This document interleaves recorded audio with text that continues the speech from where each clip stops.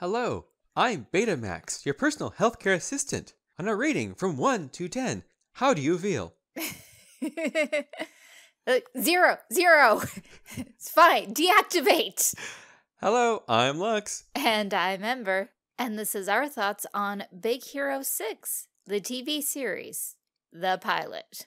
Just to start this off, apparently I will be saying Baymax wrong repeatedly because I keep thinking Betamax as in the tape format. Yes, and it doesn't matter how many times I've told him he's wrong.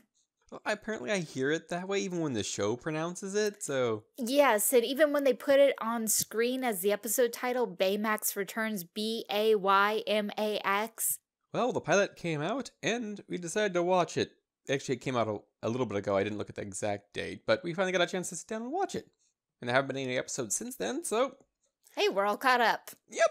So I'm gonna start off with the animation is weird. It looks good, but it's like not smooth in certain areas. I wonder if it will smooth out over time, but I don't quite know. It's hard to put my finger out, but there's something off about it. It's like they don't use enough frames for lip flaps, and the shapes of the mouse kind of look off sometimes. Oh, it seems like they're missing some in betweening, and I knew they weren't going to computer animate it, but it's feels kind of heavily cell shaded. It's like it's somewhere in between being an American comic book and a Japanese animated show. And I think it is being kind of done inside the computer. It's not really being hand drawn per se. There's just something about it that feels like it's done in something like Flash. There's just elements to it that feel like, yeah. And I have a feeling we're gonna see that thing over time, like we did in My Little Pony. If you watch the first season now of My Little Pony, you're like, this looked good, right? And you look at the current season, you're like, wow, big difference. So, if the show stays in production long enough, I'm sure we'll see improvements to the animation. But now on to what we thought of the story. And how many times we cringed in the first part of it. He's a genius. Come on, Hiro, you know better than this. Also, why was it so difficult to put Baymax's skeleton back together and have access to the lab? In the movie, you were barely necessarily a student, yet you managed to make armor for everybody. But you have trouble getting into one lab to work on one project when you're officially a student taking classes. Yeah, I think they set that up for more conflict, and I think they're setting up the principal to be a real obstacle for them during the school days of when, oh look, the city's being destroyed. I wonder if Big Hero 6 is gonna arrive. Why did five of my students have to just go to the bathroom at the same time? Hmm. Nah, it's not like it's a coincidence. Except that we're talking about the dean of the nerd school. I think she already knows. Which explains the thing at the end of the episode where she gives him the lab. The real question is, is the no, the dean wouldn't be working with the bad guy. No, because then why would they have to go and steal the object? And did the dean know about the qualities of the paperweight? Possibly. Because you notice that she moves it back. When it's returned to her desk, she changes how it's oriented. And speaking of some writing elements, they were trying to be kind of meta with how much he knew about comics and movies and stuff like that, but a lot of the jokes they were trying to do with it kind of fell flat because he's supposed he's trying to be energetic and a little off the wall. They're not quite writing him as well as they did in the movie. He's more of a, especially for the first half of the episode, an annoyance than he is anything productively comical. And in case you can't tell by the description, Lux is talking about Fred. Because in the movie, he was this source of crazy, wild energy, kind of like how Pinkie Pie is. But this was like a badly written Pinkie Pie episode. In terms of how Fred was handled, because, okay, yes, he has all this comic book knowledge, and yes, it comes in handy if things fall into line with how they would actually happen in a comic book. You know, the joke about which way the car lands, that was pretty good. Mm, but that was about it. yeah, I was just about to point out that one. It's mainly like the latter half is when everything starts to really fall into place, how jokes start to land better, and things start to work better. We weren't cringing through that half, but the first half with the whole thing, how they end up having to steal the thing, also ended up getting Betamax's skeleton being copied and stuff like that. So it's like the first half really falls flat a lot. It really kind of felt forced in a lot of places. I mean, it's like, okay, first, Yama is just a high level bot fighter. Would he really have had all these ties? Uh, I'm not entirely buying this as a retcon. Like he's a gangster or something, because that's the kind of vibe I was getting that he was a gangster that was underneath this higher person who's manipulating things. Which is how it comes across in the pilot, but he just comes across as an underground cage fighter, with the cage fighting being bot fighting in the movie. I mean, it was nice to see them trying to make all the connections back because they brought Yama back. You know, they had to bring back everyone in Big Hero 6. Then we have Aunt Cass. We have Tadashi have a cameo with Hiro looking at the footage from an old video. And I like how they tied it into the very end of the movie. How basically the beginning of the end segment where Hiro punches and does a Betamax thing, and that falls out, and how they're all suited up and everything. Basically, it takes place between those two scenes at the very end of the movie. Basically, they cram this entire pilot as an in-betweenquel of the movie. And Disney's pretty famous for in-betweenquels, so I automatically kind of have a negative reaction to those. Belle's Magical World, the Tarzan movie with I still can't believe they got George Carlin, but with George Carlin. Okay. That one I don't remember. I just remember the vagueness of the TV series. Though I must say, a good in betweenquel, or at least a decent movie, is the Lion King one. That one was better. Lion King one and a half in the US, Lion King three in the rest of the world. But so many of them were not good, or actually broke previous entries in the series because there were two sequels to Cinderella, and one of them, well, they were actually both kind of in-betweenquels, and the two of them canceled each other out. They contradicted each other. You've mentioned this before. I don't know if you've actually mentioned it on one of our recordings, but you've definitely mentioned it before to me. I like that they were tying it back to the movie and how they did the ending of the pilot episode, but I would have been okay if that was the beginning of the pilot episode. You know, make the pilot episode pick up at the end of the movie, front load with that, and then flashback to the in between. That to me would have felt smoother because you pick up exactly where you left off at the end of the movie and then go back and fill in the blanks. Hmm. And please, I wish you'd done a better job filling in the blanks. I mean, I can't believe Fred agreed to help steal the paperweight he seems he's supposed to be kind of an, an airy kind of character or kind of go with the flow kind of character and i think that's where they get away with having him do that but they didn't quite handle him well enough for us to believe that the first half just doesn't work the last half is good once you get past all of that it's a decent setup the resistance makes sense it's like we agreed to do this like once maybe twice we don't want to do this anymore. That wasn't handled as well as it could have, but it was it made sense for the characters, but the way they did it. The voice actors are pretty good. A lot of them sound a lot like the characters from the movie. I think Baymax is actually voiced by the same person. Very possible. But overall, they got good matches in terms of voice actors for the whole cast. And, you know, the reluctance makes sense. It didn't feel very well done, but it makes sense because they were reluctant even in the movie. Because they said, we're not heroes, we're nerds. We're just us. And then they go into the, no, but you can be so much more. And the conflict that the professor sets up of like, be like Tadashi, don't do this other stuff. I'm like, no, here's the thing. Especially at the end, they uh, Hiro gets what it actually means to be like Tadashi. Yeah, it's not to follow exactly in Tadashi's footsteps, it's to believe in the methodology and the morals that Tadashi had. He wanted to make something that would change the world for the better and to help a lot of people. It doesn't always mean what Baymax was originally designed for. It may mean using Baymax outside of his default configuration by putting armor on him and flying around and saving people that way. Also, in emergency situations, he can administer medical help. It's always very helpful to have a cleric on your team that has good armor. Dang it, the cleric's dead again. How will we heal? Does anyone else know resurrection? Hmm. Hmm. Anyone have any Phoenix Downs? Ooh, did anyone buy those in the last town? N- no one? So, anything else you want to go over about this? The supposed car theft chase? the moment that happened, I was like, it is not going to be anything what they were expecting. I was like, no. something's going on in there. I did think maybe a pregnant woman at one point. Also, at that point, instead of having him drive off, offer to take them there. To give them an escort, not just go, sorry. Well, after you essentially attack them, you think they're going to accept that kind of help?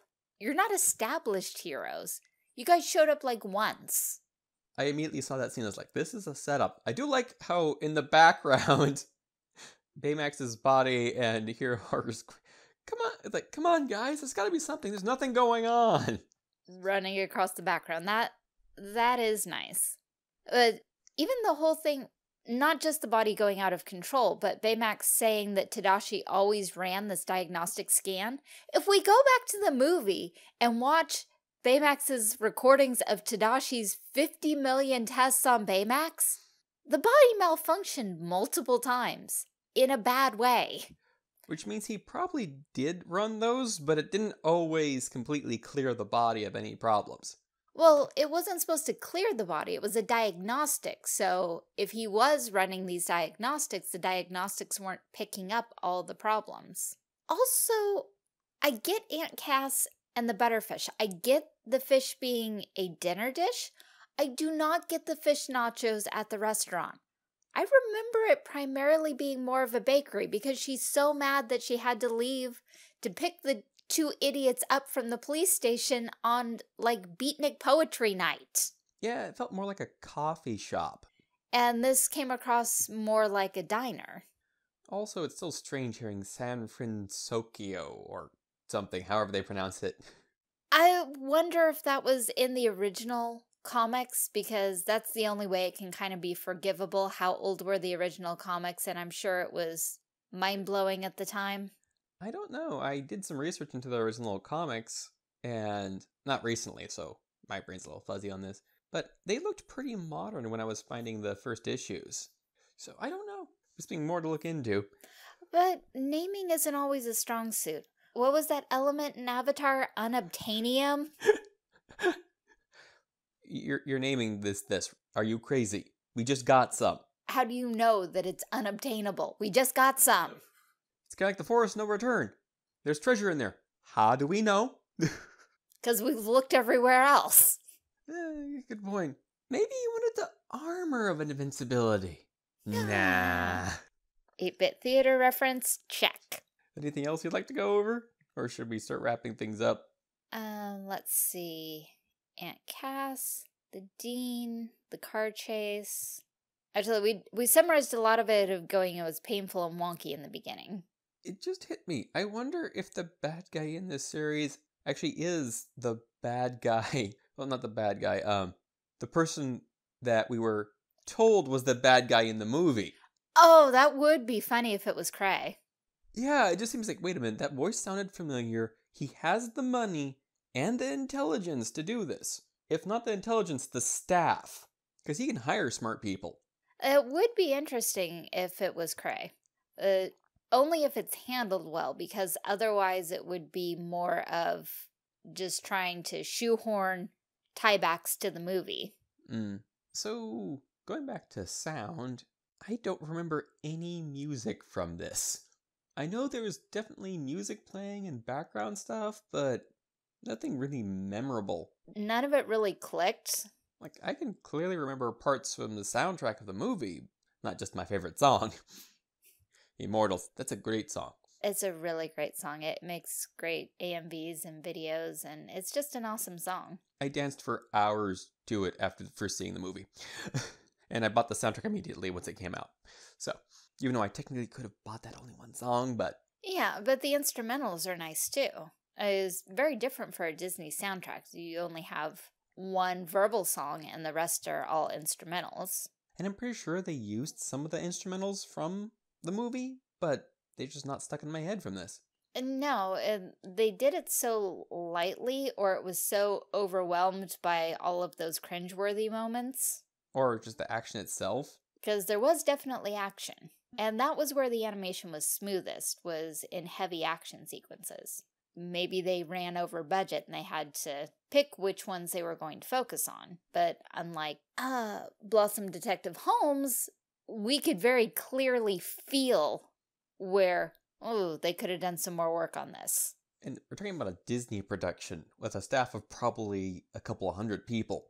Which means it really shouldn't look like that. But then we can go back and point out the 101 Dalmatians television series. And it may not just be the staff, it may just be the time limit. We don't know how long they actually had to put this together. No, they may have had to rush it. We know that Disney and scheduling don't always work together. DuckTales, cough, DuckTales.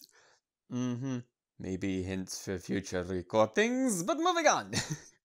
Nothing else really sticks in, out in my mind right now that I want to go over. It's just that animation. Overall, it's an okay start. It's got a lot of weaknesses. They can be ironed out because I've heard that the new X Files reboot or continuation, the first episode is terrible, but the second episode apparently is really good. So it may just be the staff writers for the pilot and whoever writes the next episode because they usually rotate out people. Because then they can get scripts done more quickly because you have multiple writers working on multiple scripts and then you end up with six or seven scripts where if you only had a single author or a single team working together all the time, you have fewer scripts total. Though in that case, the scripts tend to have more continuity, though some of that is broadcast order. It's a good start. I'm interested in seeing more episodes just to see if they go up a notch or if they maintain or if they go down. The thing is, I was really excited after we watched the movie. You go back to that recording, that recording was off the hook and my mic died and I had to do like 30 pickup lines for that. And I still managed to maintain the enthusiasm in the pickup lines. So this had a lot to live up to because despite its flaws, I really enjoyed the original theatrical movie. And I'm just glad I've been hearing rumors that they are actually working on a sequel to it and have been on a for a while. And I that may be why they wanted to do this series too, to help lead up to and promote the sequel when it comes out, which I have a feeling will do will have nothing to do with the TV series. Probably not. There's will likely be a complete break between the two. I'm thinking they'll handle it like the first Power Rangers movie, where basically had nothing in common with the series except the cast. And then when they got to that point in the series, they came up with different excuses to have the new Zords and everything. I was also thinking more along the lines of How to Train Your Dragon. DreamWorks did a TV series version of that, which was good on its own, but they also released the second movie, which completely contradicts everything that happens in the TV series. They have nothing in common. They're they're separate. They're side canon. So the TV series is like an alternate universe, and the movies all line up. And this has been our thoughts on Big Hero 6, the television series, pilot episode. Uh, you guys do realize we don't actually have like after credit features, right? We don't even have credits. Our name's kind of in the intro and in the description and on the channel, but hey, you stuck around, so sales pitch. If you like Lux's art, you can find more of it all over the internet. There's links. There are places like DeviantArt, Tumblr, Twitter, Facebook, Google+, etc. Also, if you don't want to leave YouTube, we have lots of other videos. You can like, subscribe, share, comment. Thank you to our current prolific commenters. Sasami-chan and Fan the Gourmet, you two were awesome! But ah, uh, yes, you are finally ready to leave YouTube. So if you don't want to go check out all the various art links, you can click on the other links. Well, the Patreon link still kind of has art on it, but it's kind of behind a paywall. It's only a dollar for sketches, and and you get to vote on sketches. But, You know, that's a thing. You can provide input. And there's higher tiers if you feel like it.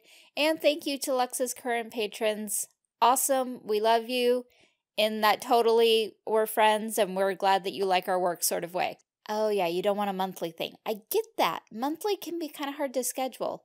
I just want to do a one time deal, or you just don't like Patreon. That's okay if you don't, it's not for everybody.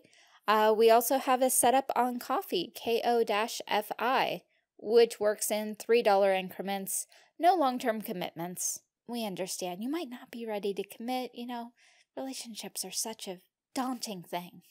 And complicated. Thanks again for listening.